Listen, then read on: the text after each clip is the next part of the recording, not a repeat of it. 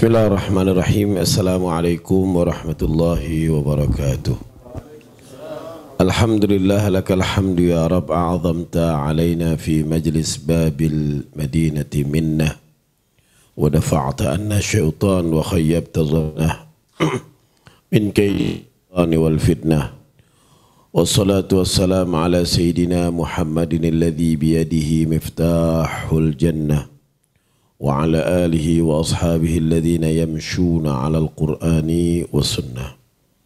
أما بعد صاحب المجلس الحبيب أحمد بن حسن العدروس الحبيب حسن بن محمد بن عبد القادر بن محمد العطاس وعائلته كسر الله أمثالهم. Semoga Allah banyakin seperti beliau-beliau semua. Terutama orang tua kita Al-Habib uh, Muhammad Syahab Abi Abu Bakar Syahab ini juga guru ya, waktu di Cinere. Jamaah sekalian yang lainnya juga sama-sama ada rekan perjuangan saya ini ada Fahru Razi ya. Ya, Syarif Razi. Uh, bahaya namanya Syarif Razi.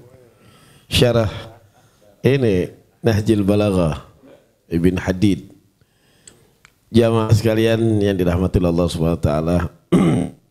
Ngomong-ngomong ikhlas tadi eh, jadi betul kata Habib Ahmad tadi, ada ikhlas. Jadi ikhlas dan tidak ikhlas itu sebenarnya urusan Allah. Bukan urusan kita yang nilai.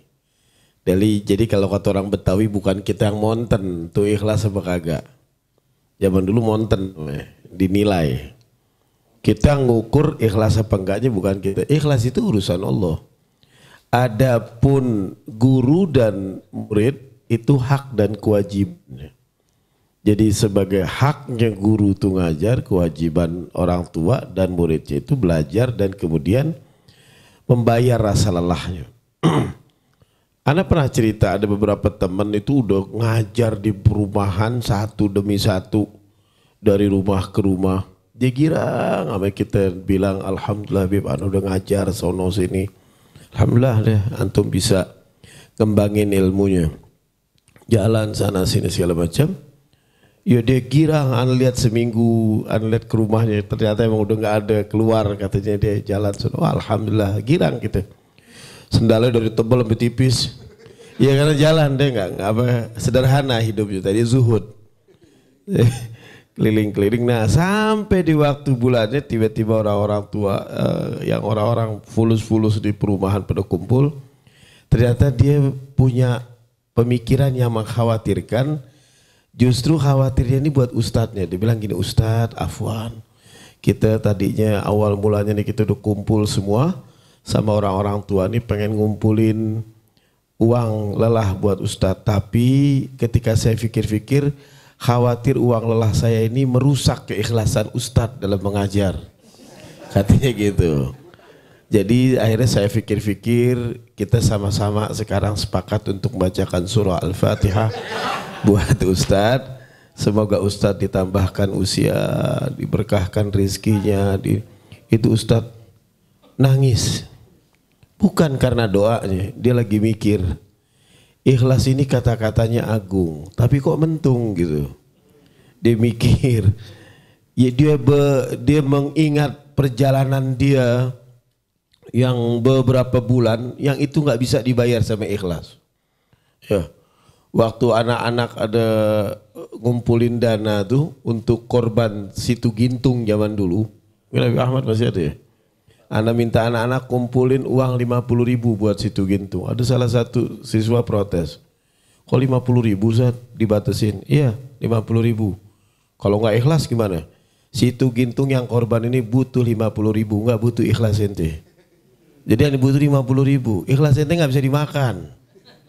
Terus dia bilang kalau udah nyumbang nggak ikhlas gimana? Ya ente yang dosa. Udah nyumbang nggak ikhlas.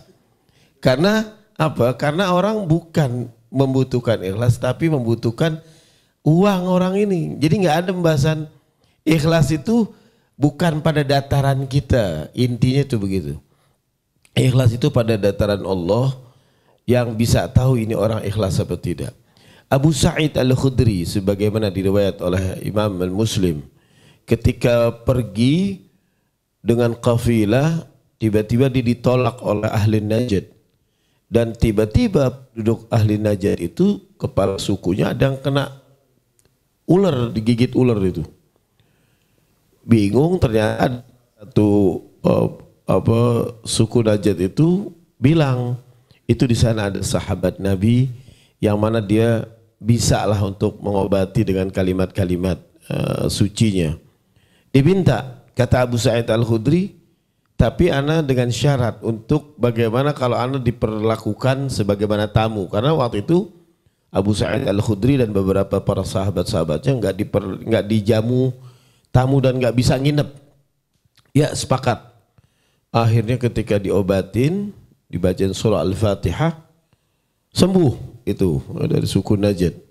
Dan saking girangnya dihadiahin seekor keledai tapi bukan seekor kuda, namanya birol. Nah dihadiahin. Datang tuh dikasih makan, dijamu, diperlakukan tamu dan bawa birol. Seorang sahabat ngadu kepada Rasul, Ya Rasulullah, Abu Sa'id Al-Khudri itu yashtari bi ayatillahi samanan qalila.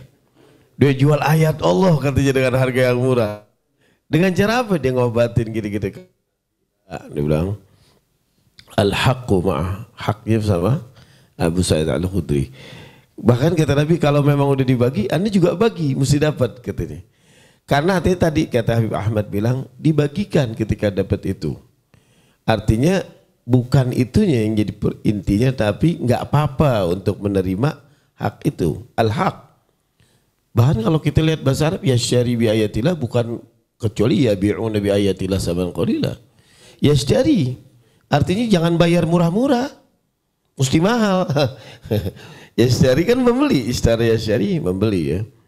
Jangan jangan bayar ustaz murah-murah kata, harus mahal gitu. Oh salah kali ya. Yashtari bi ayatillah saban qalila. Nah artinya itu tadi. Jadi dataran-dataran ikhlas itu sebenarnya bukan pada dataran kita untuk menilai, tapi Allah yang menilai.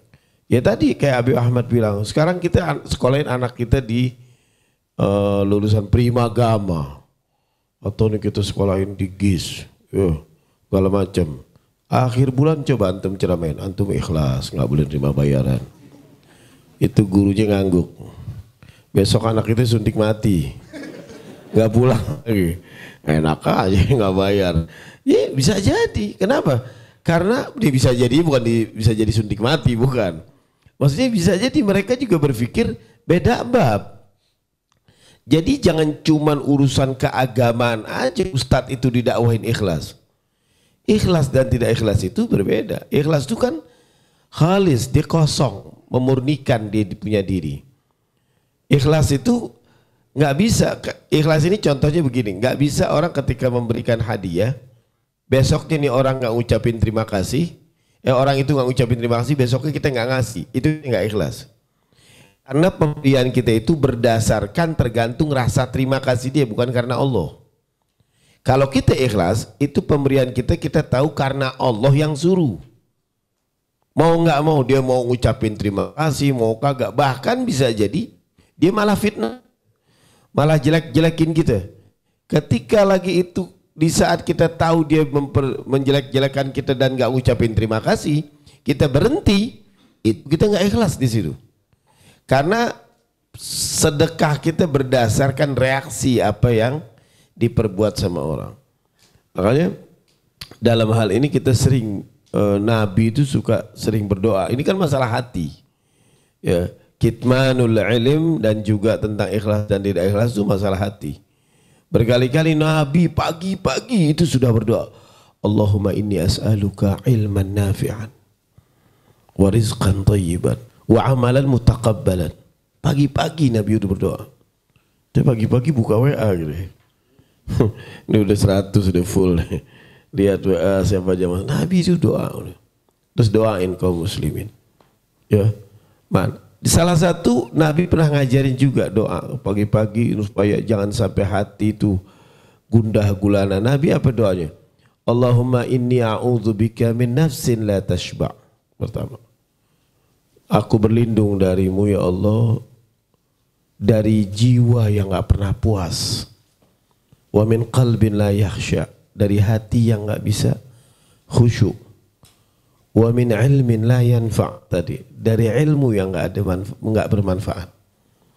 Wa min du'ain la yusma. Dari doa yang tidak didengar Allah. Wa min salatin la turfa. Dari salat yang tidak diterima sama tidak diangkat. Bayangin, pagi-pagi Nabi itu udah mengajarkan para sahabatnya pergi doanya itu. Ini jangan sampai hati kita nggak puas pertama. Hati kan nggak puas repot ini. Berontak. Dan yang kalimatnya yang indah Nabi mengucapkan a'udzubika. Kalimatnya berlindung berlindung. Ajib, ada ulama tanya, kenapa harus berlindung dari Allah? Bukankah kita kalau kita ini takutkan sama Allah, takut takut sama Allah. Mestinya kalau takut sama Allah kita kayak kita takut sama macan, mestinya kabur. Anda takut sama orang yang nagih, oh, bilang Anda nggak ada, Anda menghindar. Kenapa takut sama Allah justru mendekat? Karena kalau kita takut kepada Allah, Allah tidak bertempat sehingga kita bisa pindah ke mana tempat yang lain.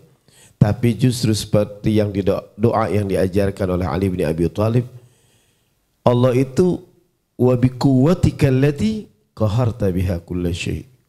Dengan kekuatan Allah yang meliputi semuanya. Allah meliputi semuanya. Ke mana kita bisa berlari? Karena kita nggak bisa berlari dari Allah, justru kita berlindung kepada Allah. Kabur kepada Allah, berlindungnya kepada Allah. Dari apa? Dari setan sama hawa nafsu tadi itu min nafsin la tashba.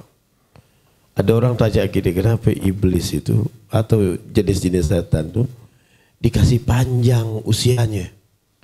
Kenapa waktu setan berdoa diminta umur panjang Allah kabulin? Coba udah matiin beres ya. Apa itu harus dikasih? Ini jadi musuh kita. Setan itu apa? Inna kaida syaitan kana dha'ifa. Sebenarnya tipu daya setan itu lemah. Lemah, dha'ifa.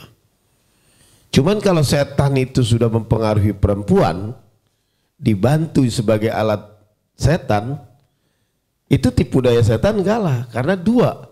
Makanya inna kaida kunna azim. Tipu daya perempuan itu besar. Setan nggak ada apa-apanya. Cuman kalau perempuan memakai senjata, kalau perempuan dijadiin senjata sebagai setan, azim. Kalah laki-laki. Inna kaida kunna azim. Siapa pun orangnya kalah udah. Wassalam udah tutup pintu udah. Nah ini kenapa? Karena tadi supaya setan diperlihatkan sama Allah orang yang berlindung kepada Allah itu selamat manusia kalau nggak ada godaannya buat apa nggak bisa dibilang orang bisa dibilang baik itu karena di sampingnya ada orang pelit orang bisa dibilang tampan karena di sampingnya orang jelek orang bisa dibilang cerdas karena di sampingnya orang kurang cerdas orang bisa dibilang hebat karena di situ ada tantangan Nggak ada tantangan, nggak bisa. Orang dibilang bertakwa karena memang harus ada tantangan berupa hawa nafsu dan setan. Sekarang umpama ya uh, Fakhrul Razi, ya, Syarif Razi. Contoh Syarif Razi. Dia satu-satunya orang dicerita. Umpama beliau cerita. Alhamdulillah tadi di lapangan ngegolin 10 gol. Wah kagum gitu. Ente lawan mana? Enggak, aneh doang sendirian di lapangan. Top gak? Enggak. Enggak ada lawan deh. Oh, oh. Enggak ada lawan. Zen menang formula. Wih, lawan tunggal. Tunggal dia doang. Wah, lapangan dia doang dirian. Juara satu. Gak bisa dibilang juara satu karena gak ada lawannya. Orang itu bisa dibilang bertakwa karena di situ ada lawan. Yang main bola itu ketika dihadang kipernya cakep dari pojok dari ini lewatin lima pemain. Ya, kalau kayak kiper Maroko dulu namanya Zaki Badau ya. Itu top. Itu kalau sampai bisa masukin dia top. Kenapa? Karena ada halangan, hambatan. Manusia baru dibilang bertakwa kalau dia bisa lolos dari godaan-godaan yang tadi Allah tuh perintah. Tapi kenapa kalau ada yang gagal tuh? Lah gampang. A'udzubillah. Allahumma ini a'udzu berlindung sama Allah. Ketika berlindung dia, dia sebenarnya udah selamat sebenarnya. Jadi itu dia, berlindung dari min nafsin la tashba, dari hawa nafsu yang gak pernah puas, kenyang. Jadi hawa nafsu ini meronta-ronta. Semakin tinggi orang dewasa semakin gak kelihatan. Kalau bahasa Habib Ahmad nih semakin abstrak. Jadi ada orang yang bisa nafsunya itu diletakkan pada dataran konkret yang kelihatan. Ada yang sudah abstrak. Ada orang yang baru ngalamin senang ketika memiliki sesuatu. Ada orang yang hatinya puas ketika dia mengembangkan sesuatu. Kayak tadi Habib Ahmad bilang ilmunya dikembangkan. Itu baru dia puas. Ya. Orang-orang yang belajar psikologi pasti ada yang kenal namanya Abraham Maslow. Dia bilang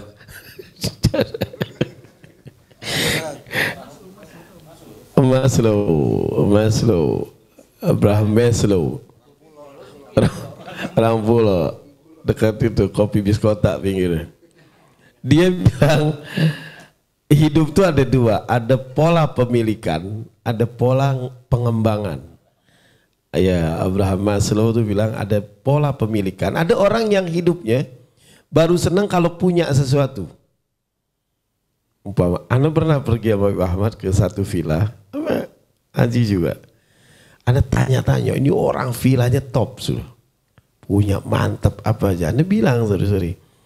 Masya Allah, kolam renangnya ajib, ada ini, ada ini. Anda kagak sebutin banyak-banyak, ntar pada tahu lagi.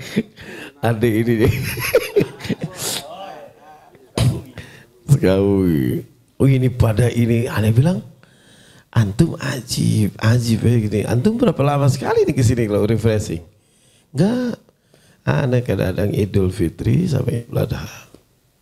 Oh, segini enaknya. Iya Idul Fitri, Idul Adha. Terus yang jaga siapa? Ini. Tunjuk pembantunya. Sini. Ini yang jaga nih. Ini dia baru betah nih kalau ada home theater di sini, ada ini, ada ini, ada ini. Oh. Yang ajib dia sebenarnya. Dia setahun dua kali. Dua kali. Padahal yang ajib dia, dia yang nyari duit pulang kadang jam satu. Habis subuh dia jalan lagi. Begitu terus. Dan itu orang udah nempatin dibayar lagi. Masya Allah udah. Anda bilang, Anda tanya, oh ajib. Kalau umpama Anda tanya, pasti dibilang apa? Antum kenapa nggak nikmatin tiap hari? Yang penting villa itu punya Anda. Jadi nikmatnya ketika dipemilikan. Yang penting villa itu punya aneh dong. Itu kan punya aneh yang penting. Mau gimana kayak. Ini kan kayak anak kecil yang beli, aneh pernah contohin ya, beli mercon, beli petasan. Anak kecil beli petasan. Yang bisa beli. Dia nggak bisa. Yang masang ada anak yang gede, dia pasangin. Yang punya nih, dia lari ke pojok, dia tutup kuping, matanya merem, pasang, dor, Udah tuh, udah tuh, oh girang dia. Kalau antum tanya sama itu anak, antum kenapa nggak nikmatin? Tapi kan petasan punya saya. Ya, anak kecil deh. Jadi nikmatnya ketika dia punya wassalam. Bukannya apa-apa. Itu sama. Mesti dinikmatin, nikmatin uh, ledakannya. Pur. Allah. Wing bisa begitu deh. Enggak artinya kenapa dia enggak yang pasang sendiri? Kenapa yang dia ini? Orang yang punya anak kecil yang itu sifat kekanak-kanakan, makanya eh, siapa? Abraham Maslow bilang itu sifat kanak-kanakan. Makanya ketika ada orang, orang jangan jauh-jauh, orang beli layangan deh kita masih kecil ya. Kita megangin benang ya. Yang masuk anak gede, diaduin gitu. Itu tuh, aduh itu aja. Wow, gue digirang, menang digirang. Padahal yang punya dia. Sama orang-orang tertentu tuh begitu. Ada dia rasa pengen tuh ketika kita ngeliat ada orang-orang kaya tuh mobilnya sampai puluhan, 70 berderet yang bagus-bagus. Anda tanya kenapa ente gak pakai? Tapi itu mobil punya anak. Ah, yang kedua ada pola pemilih pola pengembangan. Dia baru menikmati ketika dia mengembangkan sesuatu. Itu yang bersifat abstrak. Ilmu abstrak, bukan gak kelihatan. Diamalkan kepada orang lain, disebarkan kepada orang lain. Ini yang bermanfaat. Makanya kita berlindung dari ini semua ketika harta udah menjadi milik kita itu berlindung. Allahumma inni a'udzubika min nafsin la tashba. Yang berikutnya secara singkat. Wa min qalbin la yakhsha dari hati yang gak pernah bisa khusyuk. Hati itu kan sumiyal qalbu min taqallubihi. Dinamain hati karena sering bolak-balik. Dulu istofa, dulu di dalam sorof, saat muslim tahu nih, istofa ya apa, uh, sada ya sudu saywid gitu. Karena dia berat, fikal kalau kata ahlul kufah, dirubahlah wow itu jadi ya, ya aja dua karena nggak enak ditulisan pakai tasdid sayyid. Nah, waktu lagi berubah wawu menjadi ya disebut kolbul wawiyaan. Berubahnya wawu menjadi ya. Hati juga gitu. Ketika berubah minta kalubihi itu hati sering berubah. Nah hati supaya mantap itu kita perlu doa bantuan Allah. Ah, doa ya muqallibal qulub sabbit qulubana ala dinik. Kita minta biar mantap hati kita. Singkat cerita, wa min ilmin la yanfa. Nah ini terakhir deh. Yang salat doa la yusma itu itu panjang nanti. Takutnya butuh satu semester. Satu semester. Canda. Wa min ilmin la yanfa. Dari ilmu yang enggak ada manfaatnya. Ilmu yang bermanfaat bukan gede-gedean kitab. Bukan kitabnya segede bantal. Ilmunya top pasti. Kitabnya gede banget. Bukan itu. Bukan yang ilmu apa bukan yang mana ketika umpama dia nyampein ilmu dari belah mana aja dihafal. Umpama belah kebot, belah kiri, belah ini, belah ini, belah ini, ujung semut lewat dia tahu. Ini dulu ulama ini buka ini semutnya pernah lewat. Sampai dia tahu dia bukan itu. Kalau ukuran main itu, main hafal-hafalan, belas ini, belas sono, ayat sebelah sini, itu dijulukin alim masuk surga, Google yang masuk surga. Google, ya, YouTube tuh masuk alim itu. Bukan itu. Manfaat itu yang penting ketika orang jauh kepada Allah, dideketin. Dia nggak kenal Nabi, dikenalin. Itu yang manfaat. Makanya ketika ada ayat yang mengatakan Muhammadun Rasulullah walladzina ma'ah asyidda'u 'alal kufar ruhama'u bainahum. Ini yang bersama Nabi Muhammad bukan hanya disebutkan ada yang mengatakan bukan hanya para sahabat tapi yang bersama Nabi yang mengikuti Nabi harus ruhama'u bainahum. Harus rahman dan rahim.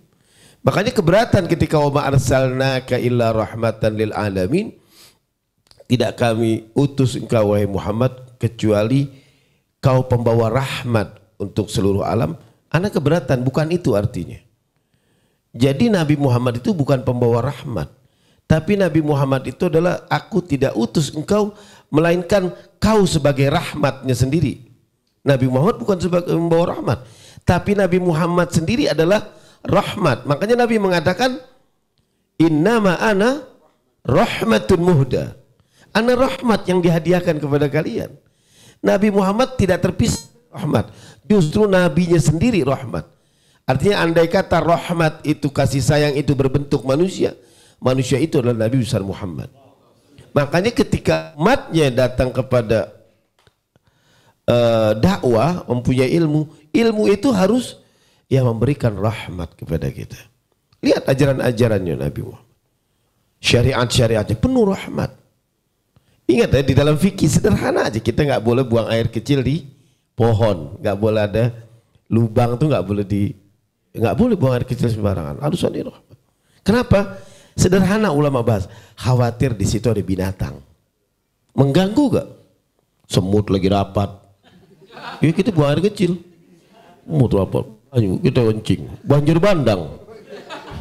Masuk kuping dong dong dong. Itu indah mana rahmatun muda. nah, dan yang terakhir adalah makanya ilmu yang bermanfaat itu disebut ketika orang itu disebut warathatul anbiya. Pewaris para nabi. Nabi Muhammad menyebut para sahabat-sahabatnya, antum bisa bingung loh. Semuanya hebat. Ya, Sayyidina Abu Bakar As-Siddiq Al-Atiq, Sayyidina Umar Al-Faruq, Sayyidina Utsman Zunurain, Sayyidina Ali Imamul Masyriqi wal Magharib.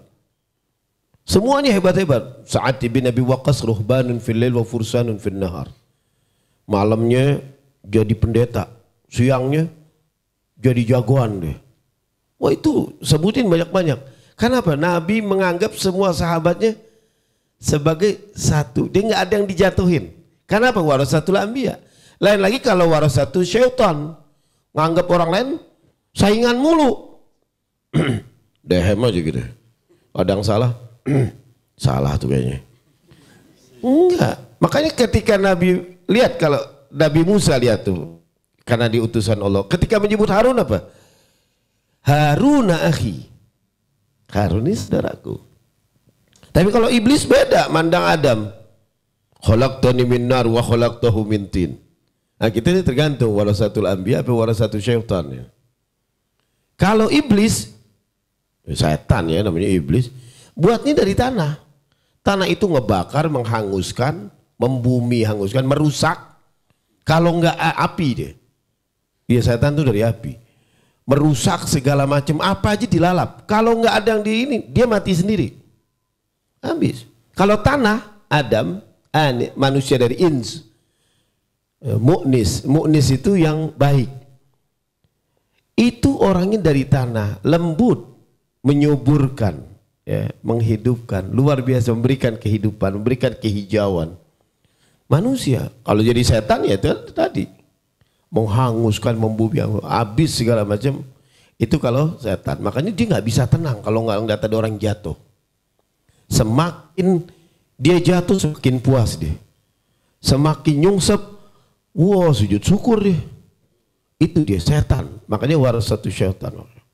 Makanya lebih enak kita menjadi perilaku manusia tanah enak kalau daripada api makanya tanah harganya mahal terus kalau kalau korek api gitu-gitu juga jadi nggak nggak maju lagi nggak nyambung ketika ditanya oh, ini kolak tani minar wah kolak tahu ada dari api dia dari tanah.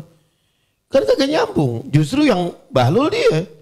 Api menghanguskan tanah menyuburkan Nah jamaah sekalian itu mungkin ya. ini sebenarnya bukan bukan apa bukan tambahan tapi grecokin pembahasan Habib Ahmad yang mana anda lihat ujungnya dulu apa nah itu yang kira-kira bisa masuk bisa manfaat buat kita semua. Afwan minkum hadanallahu wa iyyakum ajmain. Assalamualaikum warahmatullahi wabarakatuh